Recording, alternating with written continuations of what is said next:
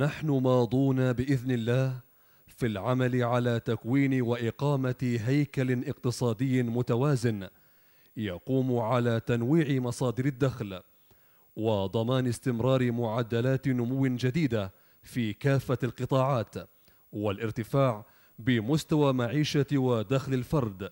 صاحب السمو الشيخ خليفة بن زايد آل نهيان رئيس الدولة حفظه الله.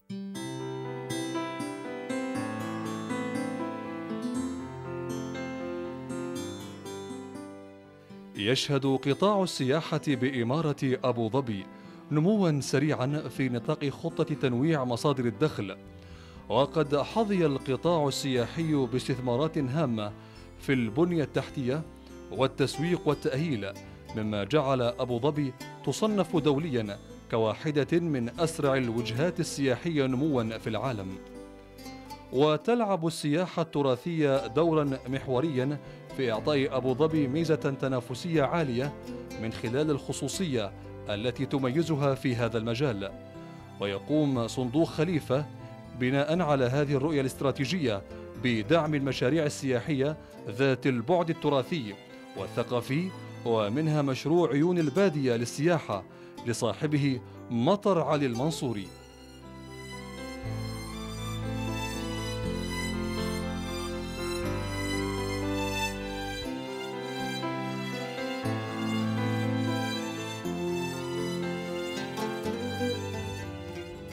كانت فكرة إنشاء مخيم تراثي بمرابض الصبا بالخزنة بالنسبة لمطر المنصوري حلما قبل أن تكون فكرة مشروع فقد ظل ضيفا وفيا لهذه المنطقة التي يحتفظ فيها بذكريات لا تنسى.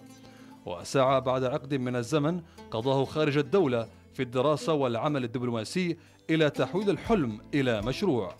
فكرة عيون البادية بدأت أيام دراسة في أمريكا. هذا الكلام كان في سنة 94 سنة أمريكا لدراسة اللغة الإنجليزية والحصول على شهادة آه، البكالوريوس. في أثناء يعني الدراسة أيام الدراسة يعني كان عندي حنين للحياة اللي عشتها في الإمارات. حياة أيام الخزنة وأيام وأيام ليوا. فكان عندي ما تقول آه، يعني طموح أو هواية إني بعد ما أرجع للإمارات بعد الدراسة اني انشئ لي يعني مزرعة أو مكان يعني في في الرملة يعني للربع أو الاصدقاء وانه يكون مكان أرتاح فيه يعني. وبعد اختتام دراسته بالولايات المتحدة والعمل بالسلك الدبلوماسي بالمغرب ثم بجنوب أفريقيا فكر مطر المنصوري في تحويل فكرته إلى واقع بعد عودته للإمارات العربية المتحدة. بعد العمل في سفاره دولة الإمارات في في جنوب أفريقيا رجعت للدولة بعد غربة تسع سنوات بعد غربة تسع سنوات فوجدت نفسي أن أن الحلم اللي كان أو الفكرة اللي كانت يعني في بالي يعني وجدت أن يعني الوقت المناسب أن الإنسان يبدأ في هذه الفكرة. فطرحت الفكرة على على الوالد وعلى الأخوان. يعني وجدت منهم كل يعني الدعم المعنوي أنها فكرة يعني فكرة طيبة وأنها بالعكس أنه يكون فيه إقبال الناس لها خاصة يكون إذا كان مكان تراثي ومكان يعني يركز على العادات والتقاليد. مكان فيه تكون فيه أجواء يعني يعني خدمات للسياح أكيد بيكون فيه إقبال. أخذت الفكرة تقريبا ثلاث سنوات من المشاورات ومن الآراء. لأن تعرف أنت المشروع مش سهل. منافسة مع مخيمات أخرى لها سمعتها ولها خبرتها ولها انطباعها. فأنت لما تدخل هذا المجال مش مش سهل يعني تدخل في المجال مع الناس الآخرين؟ فطلب هذا ثلاث سنوات. وأظن هي كانت مدة كافية يعني. وزياده لأنه لأن إحنا سألنا واستشفينا من الناس من آراء السياح نفسهم إن إحنا ذهبنا إلى المخيمات وشفنا كيف انطباع الناس في المخيمات كيف ساعدتهم لما يروحوا على على الصحراء وعلى المخيمات واستقبال الناس لهم ويشوفوا عادات وتقاليد الإمارات هناك فيها. التراث له له أثر يعني يعني كبير في نفسي. التراث هذا المكان اللي أنا يعني إذا يعني المكان اللي برتاح له وأنا أعتبر اني التراث يعني هو هوية البلد. هوية البلد. وهي يعني أيضا يعني التراث هو يعني النافذه اللي يمكن السائح يتعرف على على المجتمع اللي يزوره ويشوف يعني الأشياء اللي كانت في يعني في الماضي. فياخذ انطباع حقيقي عن حياة الناس كيف كانوا عايشين في في الماضي. في البداية أريد الإشارة إلى أن تنويع قاعدة المشاريع التي يعمل صندوق خليفة على دعمها وتطويرها. يندرج ضمن استراتيجية الصندوق لتنويع المشاريع وخلق نسيج متنوع ومتكامل منها. آه، دعم الصندوق للمشاريع الصناعية بصفة عامة والمشاريع السياحية ذات البعد الثقافي أو التراثي بصفة خاصة يستجيب ويتكامل مع آه، استراتيجية الإمارة من خلال رؤية الإمارة أبو ظبي 2030 طبعا كان لنا زيارات إلى مخيمات خاصة بنا نحن. وكان في آه، بعض أفراد العائلة ما كانوا متشجعين يروحون معنا لأن كان ينقصها بعض الأمور اللي هي آه، المدنية. بحكم أنت عارف نحن الحين نتكلم على في وقت الكل أصبح يعني آه، تعود على الحياة المدنية. لكن عند الأخوان في المخيم الشيء المميز كان بالدرجة الأولى أن كان فيه طبعا حياة بادية مع وسائل مدنية حديثة مثل آه، المكيف في شاشة تلفزيون هناك آه، الإضاءة الملونة آه، كل شيء كان مميز. وخاصة نحن أنت عارف دائما نبحث عن راحتنا فنبغي حياة البادية مع وسائل رفاهية وهذا الشيء كان موجود عندهم.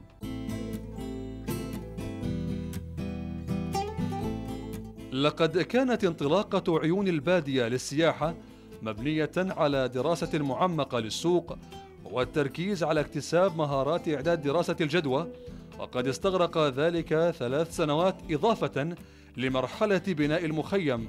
التي استغرقت سنة إضافية. آه، كما تم إثباته من خلال مختلف آه، وسائل الإعلام والدراسات آه، المتخصصة تعتبر السياحة حاليا واحدة من أهم ركائز الاقتصاد الإماراتي واقتصاد إمارة أبو ظبي بشكل خاص.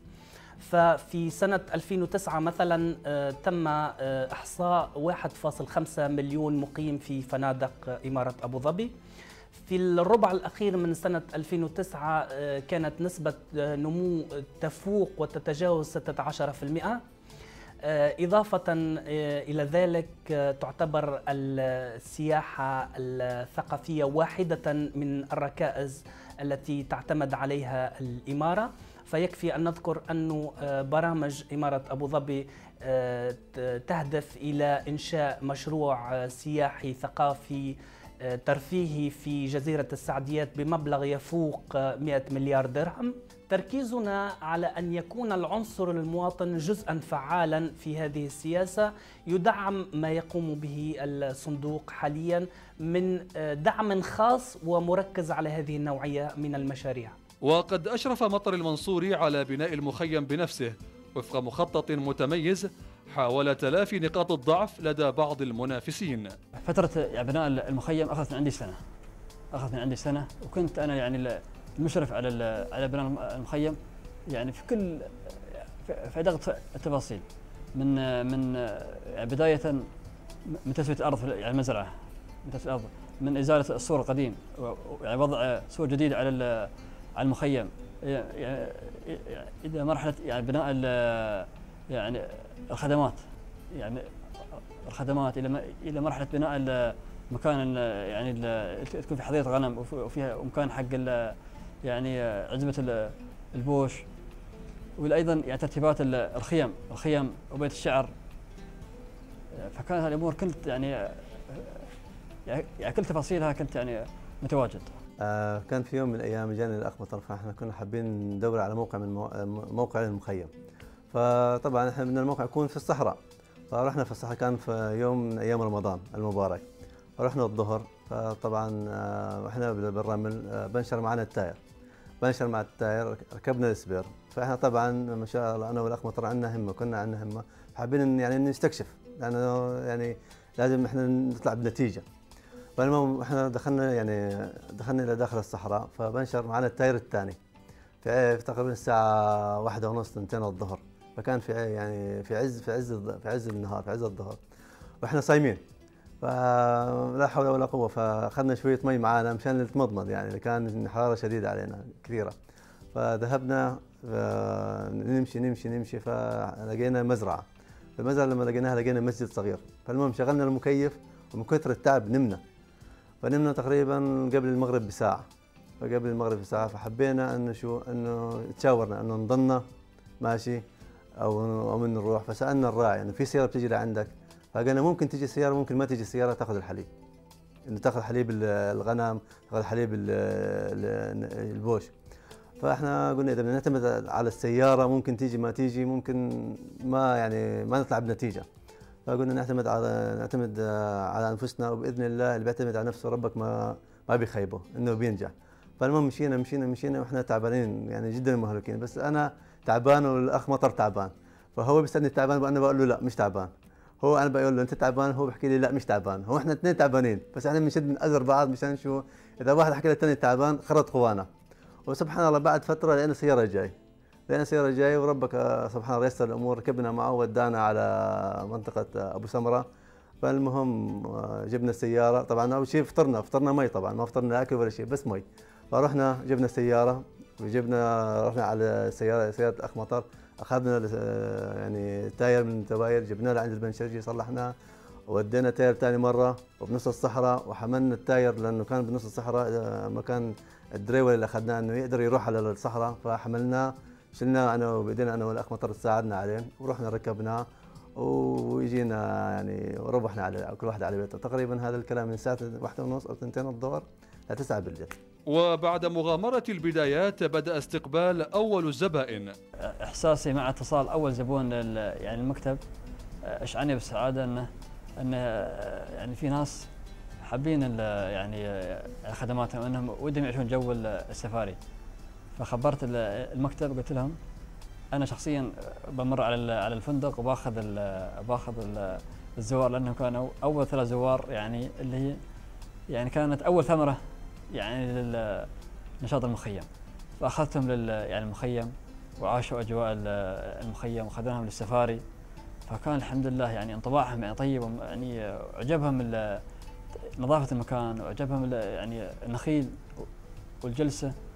فكان يعني شعور طيب إنهم يعني يعني انبسطوا يعني في المكان هذا. فقلت الحمد لله إذا هالجماعة انبسطوا أكيد إنه يعني الناس الآخرين حقيقه اسمها يسعدهم يعني جو المخيم والمكان والخدمات اللي فيه يعني. ولإعطاء المشروع الدعم المعنوي والمادي الذي يحتاجه اتجه مطر المنصوري لصندوق خليفة. بداية تعرفي لصندوق خليفة كان عن طريق جريدة الاتحاد في عام 2007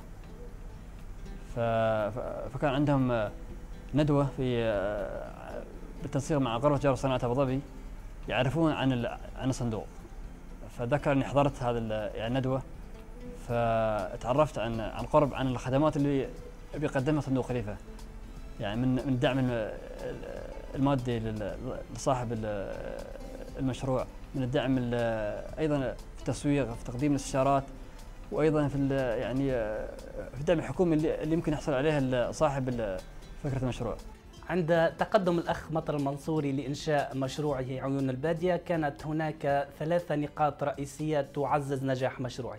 النقطة الأولى تهم التمركز الجغرافي للمشروع وهو مدينة العين التي آه، تتمكن آه، وتحتفظ بمجموعة من المقومات التراثية والسياحية المهمة جداً. النقطة الثانية كانت في مستوى التصور الذي ارتكز على المقومات الهوية الإماراتية التراثية.